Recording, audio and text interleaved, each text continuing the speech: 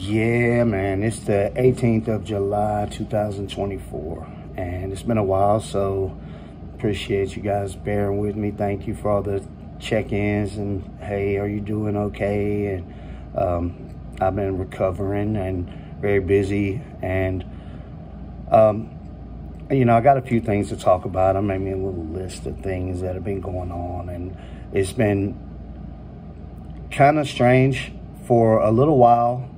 They they never quit. Okay, the gang stalkers they never actually quit, and um, sometimes they kind of back off a little bit, and it really depends on who's on you know who's on who's connected who's on my neural monitoring who's talking who's trying to do the live streams the who's trying to put out a show and if some come on then the others start acting erratic too and really for a couple of weeks it was uh, not uh, non-existent but it had died down a little bit and it was because there was only a couple of guys left on the on my channel as far as like every day and they weren't being completely erratic but uh, but they never stopped. So uh, but let let's just get into it. So first of all um, i'm always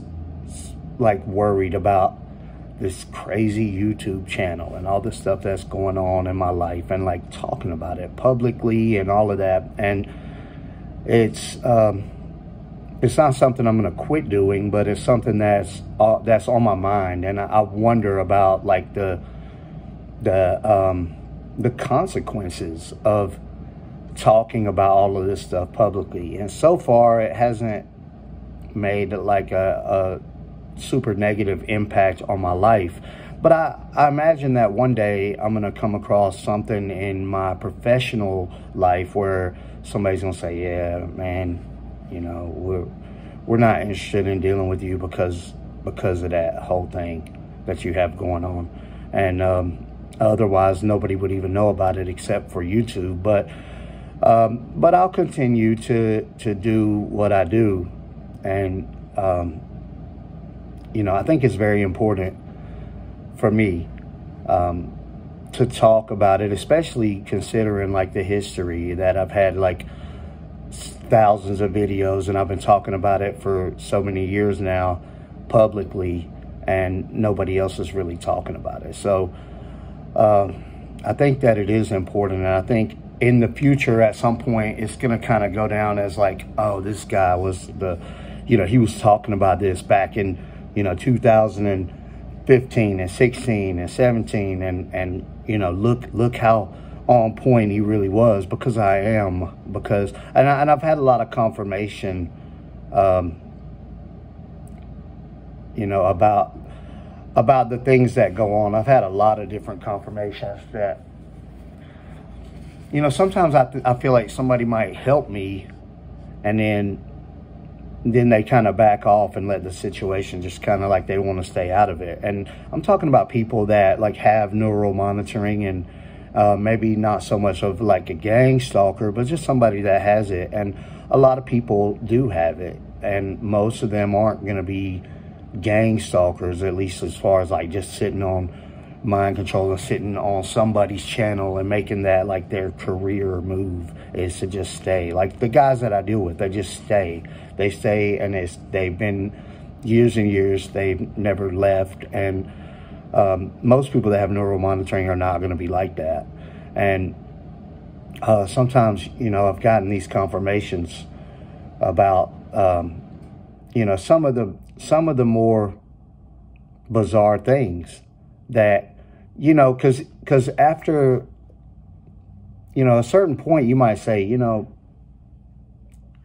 I can't believe this is even really happening, and um, there there might even be times where you question yourself, you know. But those confirmations from those kind of people are that is the help that you know and and what I what I do with that information and what I um, what I take from that knowledge is uh, I guess that's really up to me on how I pursue different things but the confirmation is very important. When somebody that's not involved with your gang stalking does something, even if they don't like help you get your neural monitoring, but they do something that lets you know 100% like, yeah, you, you're on the exact perfect pathway. You know exactly what you're talking about.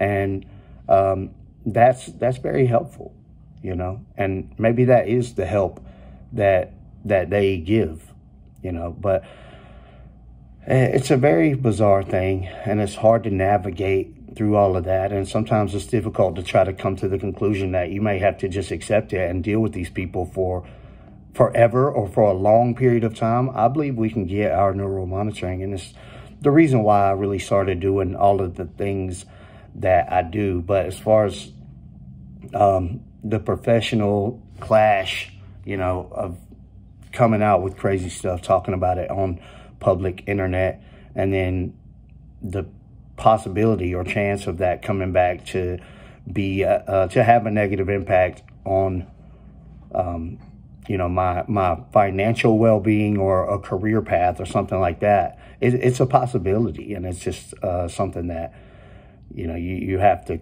come to grips with if you're going to do what I do and talk about all of this stuff publicly okay and um, as far as school you know I started going to school because not because, uh, like most people, they go to school because they want to get a job in that particular thing that they're studying, and um, or they just feel like it'll make them more money or give them a career. And that's not why I went to school. Um, I'm okay with with my job, and um, and I'm really more interested in having like my own company at some point and uh, just moving in the direction that I want to move in. And the school thing was not something where I said, oh, let me get this degree and study this thing because I want to get that job. And maybe it'll turn into something where I end up getting that job. Or, um, or what's already happened is, is become very helpful in my current job and in life in general. Uh, just studying, you know, computer programming and the, the degree that I'm studying for that, I've been going since, uh, 22. So I went 22, 23, 24. I'm like three years in. And I got a few more classes, not many, like two or three more classes to graduate this degree. Um, but it won't be till sometime middle of next year because I also enrolled in the cybersecurity degree program. And so, um, so I'll be getting both of those, the programming and the cybersecurity. And the, you know, the first class I ever took, and I was sitting in class, and the lady was asking everybody, why are they doing this? And I said, well, because, um, you know, I got some exes that keep hacking my phone and stuff like that. And everybody laughed. And um, it, it was because of this whole thing with neural monitoring. And, um, you know, one of the things, like, like for example, to even today, and yesterday.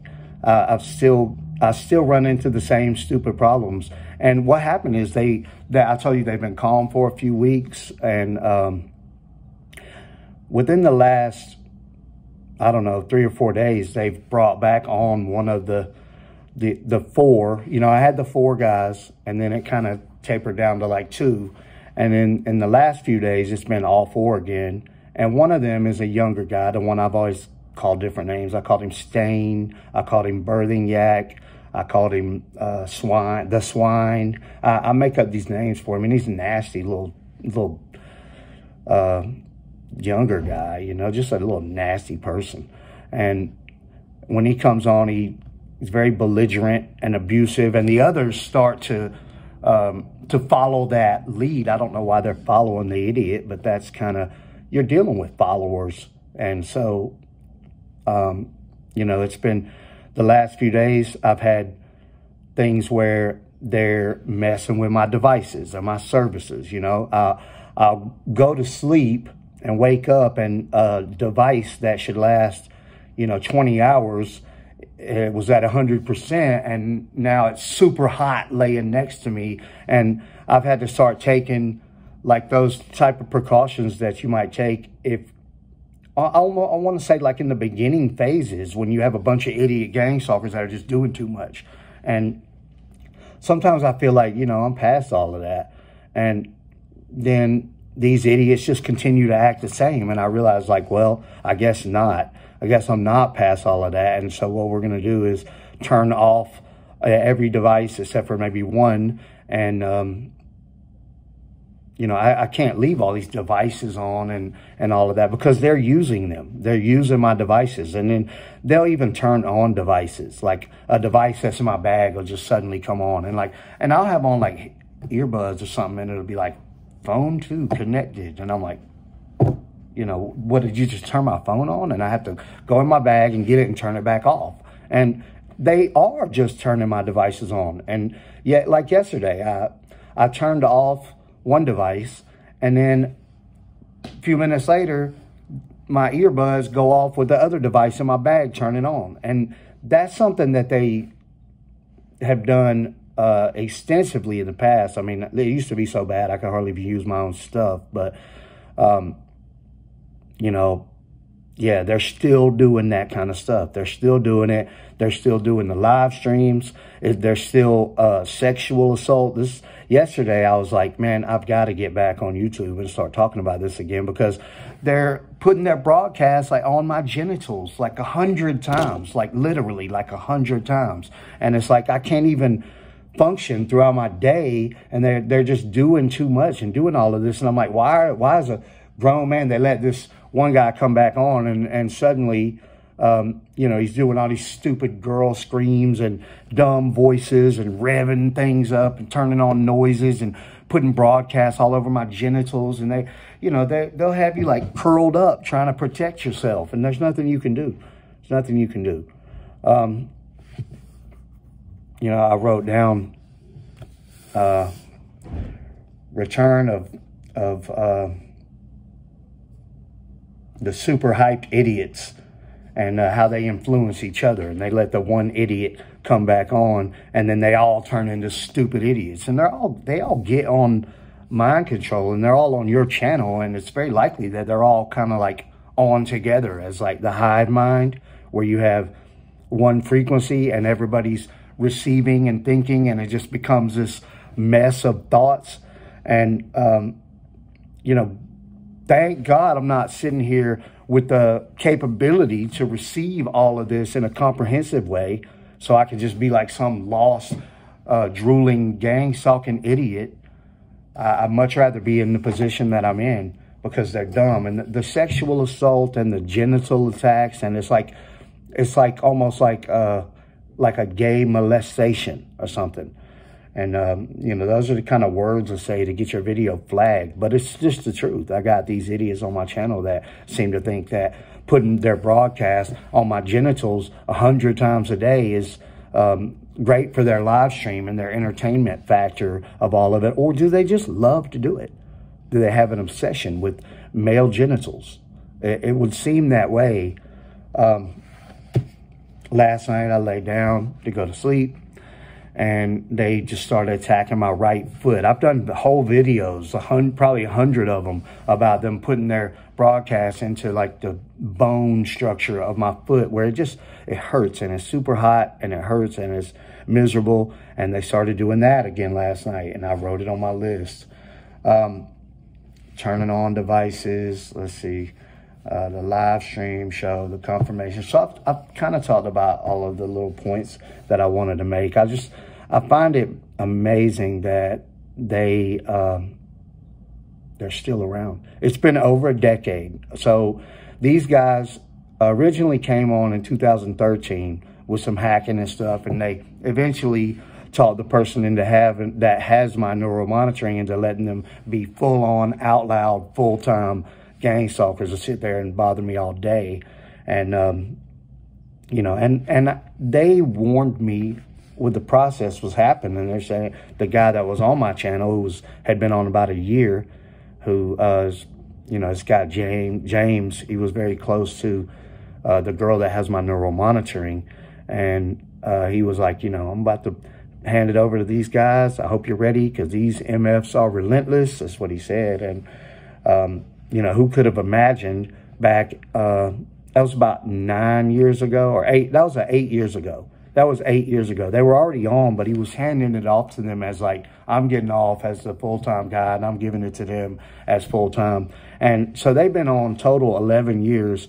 And as the sole um, controllers of the live stream and the just the neural monitoring administration overall, um, they don't they don't have ownership of it of my account that's based on my neurological frequency. But um, but what they have is is like the administrator position, one of them, and then he's got like three other guys on with him. So I got four people on full time, and they've been on full time 100% as administration um, with administration privileges uh, since 2016, eight years ago.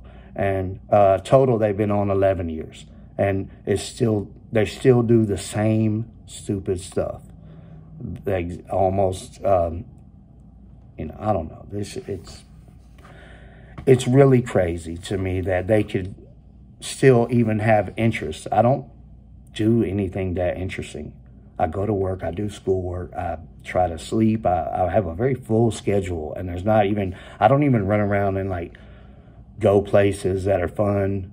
You know, I hardly do anything that they would, that you would think a gang stalker would be interested in or that they could even um, call marketable as far as for their live streams. And I think that's when they really start to get super erratic and uh, try to start pushing with all the dumb stuff is they just need they need some content and and it's not here.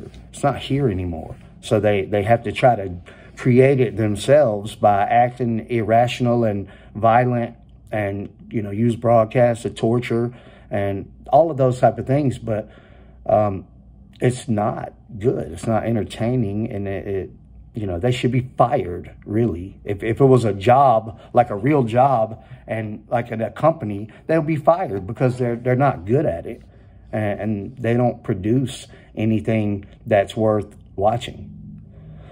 So, anyway, that's where it's at right now. And um, dealing with a lot of little problems in life. And, uh, you know, I had some medical procedures.